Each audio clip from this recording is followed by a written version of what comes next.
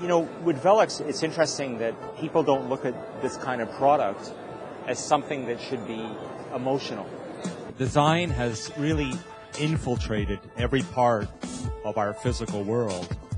And I think something like the Velux windows and windows in general, we see a bit as a utilitarian object, mm-hmm. but it's not.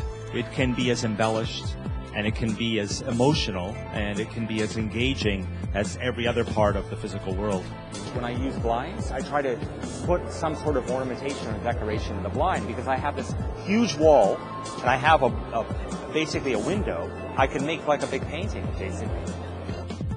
So if I make patterns like flexuous, which is this kind of wire frame that looks like a curtain or a drape, for me that is a pattern of the 21st century because that's my technology. That's my loom.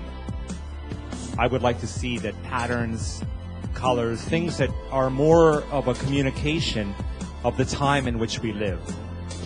That, that we're not kind of going into history and finding prints and patterns, but we're actually designing patterns that speak about the age now. I think my my purpose, in a way, if I have a purpose in this world. No, I'm. You know, we. You know, I think we believe we have purpose. Sometimes we may not. Is to kind of elevate the the human emotion a little bit. You know, in all my work. I think it's important when we do interior space that we just try to think about the human experience more and about style less.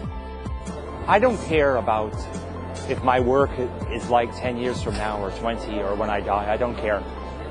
What's important for me is I'm touching now.